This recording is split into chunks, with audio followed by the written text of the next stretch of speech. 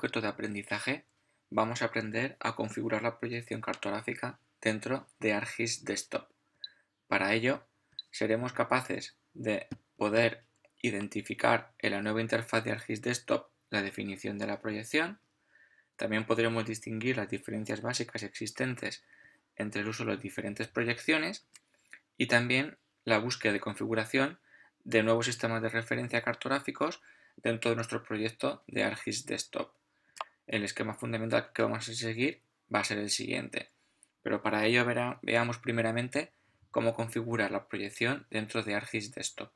Arrancamos ArcGIS y vamos a empezar a cargar la cartografía.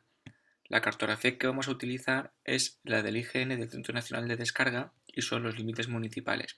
Y una vez que lo hemos descargado y la hemos descomprimido en nuestro disco duro, pues tenemos esta estructura de directorios en las cuales tenemos todos los límites provinciales y todos los límites municipales en los diferentes sistemas de referencia que tenemos oficiales en la, eh, todo el territorio español, como es el ETR-89 UTM y el uso correspondiente según caiga eh, en la zona del territorio, y en geodésicas latitud y longitud en el datum WGS84. Y también tenemos una capa de recintos municipales que no tiene especificada su proyección. Tenemos los tres archivos que conforman ese shape, pero no tenemos la información adicional de proyección. Vamos a ir cargando cada una de las capas para ver cómo se representan dentro de nuestro proyecto. Para cargar los datos lo haremos desde el catálogo, que se invocará con el icono que tenemos aquí arriba. Vemos que tenemos, según el ámbito geográfico que abarca, pues cada una de estas cartografías en un sistema de proyección diferente. Por ejemplo, tenemos el recinto de las comunidades autónomas de Península y Baleares, tenemos los recintos municipales y tenemos los recintos provinciales. Bueno, pues vamos a cargar aquí los recintos que tenemos eh, de la Península y Baleares en ETR89 y es tan sencillo como coger y arrastrarlo. En principio va a decirnos que va a hacer una transformación de coordenadas porque tenemos nuestro proyecto configurada en coordenadas geodésicas. Veo como pasando el puntero del ratón me está diciendo la latitud y la longitud, pero yo puedo configurar cuál es la proyección en la cual yo quiero ver mi cartografía. Si saco primero las propiedades de las capas, que es donde se carga la cartografía, pues veo aquí en la pestaña eh, de proyección cuál es la que tengo cargada y aquí en general puedo decirle que me dé la información en metros para que sean coordenadas UTM. Me dice que va a hacer esa reproyección, le digo que sí y ya veo cómo pasando el puntero del ratón tengo coordenadas UTM. Y a su vez también podría decirle que en el sistema de coordenadas, en vez de representarlo en las mismas coordenadas que tiene eh, la capa que he cargado, que está representada por este número de aquí, 25830, que es su EPSG, su número identificativo único del sistema de referencia, pues puedo decirle que me la cargue en 4326, que es el EPSG de las geodésicas.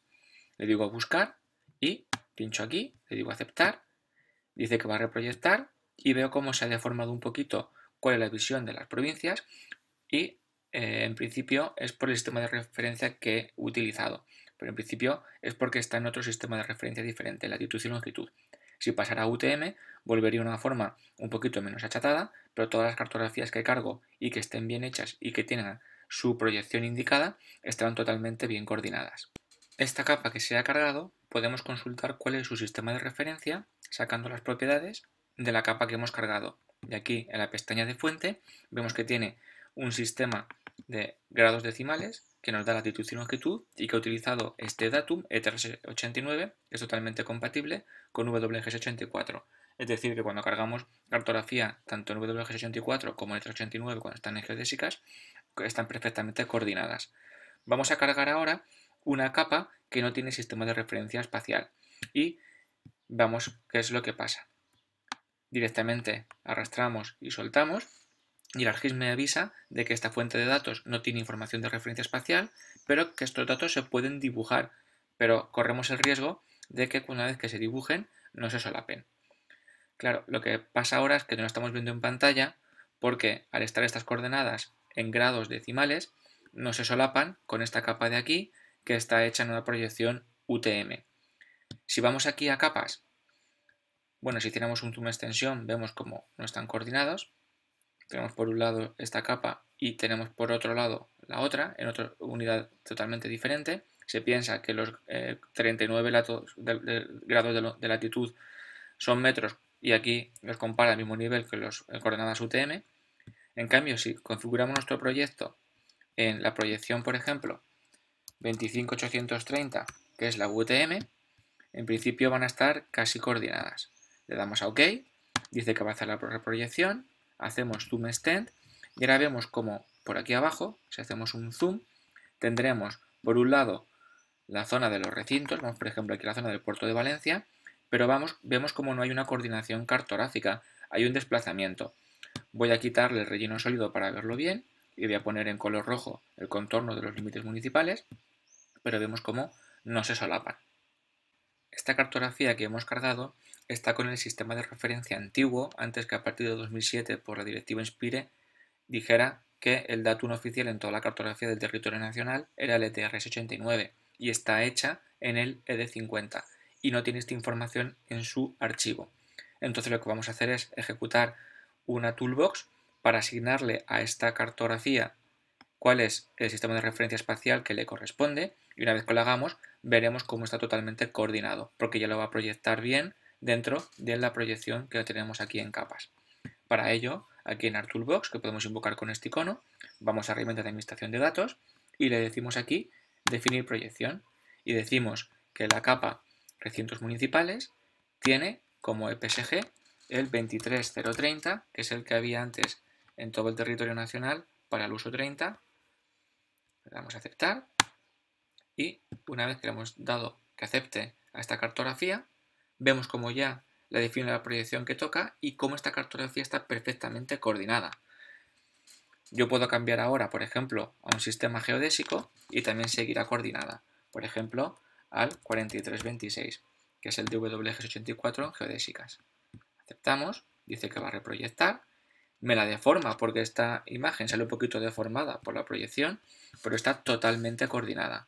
Entonces, recordad primero que cuando trabajéis con ArcGIS tengamos siempre un sistema de referencia eh, eh, que está aquí en propiedades, en la pestaña de sistema de coordenadas, uno definido que es con el que vamos a trabajar y también tendremos que tener todas las capas con las que trabajamos, todo eh, el sistema de referencia espacial bien definido. Y si no lo tiene, tenemos que averiguar en cuál se ha hecho para asignárselo con las toolboxes.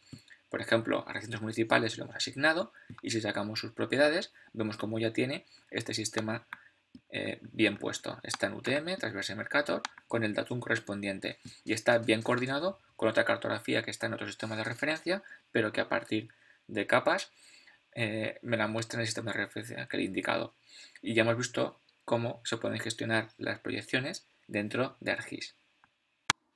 Con este pequeño tutorial hemos aprendido a distinguir las diferencias básicas existentes entre el uso de diferentes proyecciones y qué tiene que estar la cartografía con su proyección bien definida para que estén bien coordinadas y en el caso de que no estén hemos aprendido a aplicar herramientas de reproyección y asignación de sistemas de referencia para coordinar dichas cartografías.